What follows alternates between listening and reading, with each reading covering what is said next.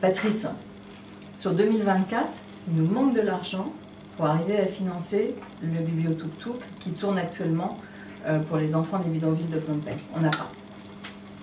Bonjour les amis C'est bientôt Noël